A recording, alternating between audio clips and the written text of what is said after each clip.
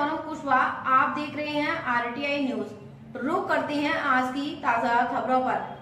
माता पिता सेवा मंदिर, रामलाल गौशाला एवं वृद्धाश्रम कैलाश मंदिर, सिकंदरा आगरा में चल रही श्रीमद भागवत कथा के पंचम दिवस को गुरुवार को कथा में भगवान की बाल लीलाओं का वर्णन करते हुए भगवताचार्य पंडित गरिमा किशोरी जी ने कहा कि भगवान को माखन इसलिए अच्छा लगता है क्योंकि माखन भक्त का प्रतीक माना जाता है।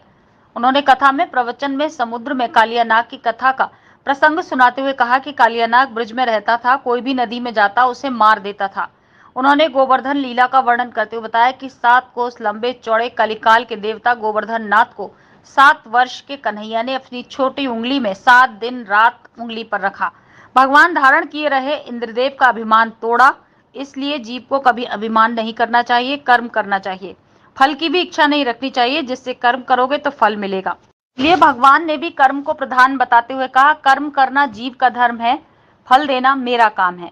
श्रीमद् भागवत कथा के दौरान कथा व्यास द्वारा बीच बीच में सुनाए गए भजन पर श्रोता भाव विभोर हो गए। हरि नाम से ही जीव का कल्याण हो जाता। कथा व्यास ने बताया कि भागवत कथा विचार, वैराग्य, ज्ञान और हरि से मिलने का मार्ग बता देती है। कलयुग की महिमा का वर्णन करते हुए कहा कि कलयुग में मानस पुण्य तो सिद्ध होते हैं, परंतु मानस पाप नहीं होते। कलयुग में हरि नाम से जीव का कल्याण हो जाता है।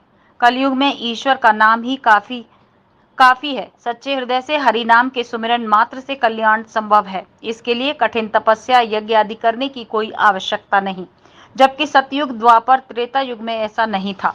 इस दौरान कथा में परीक्षित नंद किशोर एवं राधा शर्मा, अपर जिला जज साहेब doctor Divyanand Dwivedi, Kunta Devi, Jyoti, Seema Pippal, Chitra Pippal, Sandesh Jain, Rajesh Suri, Vivek Ahwaran Singh Hemraj Garg B M Lal Vivek Lal Jaichand Deendayal Bansal Dharmpal Singh Abhinav Mishra Lokesh Soni Sudhir Tyagi व्यवस्था में रहे शिव प्रसाद शर्मा रविकांत नंदू चेतानी प्रदीप बनबारी श्याम भोजवानी आदि मौजूद रहे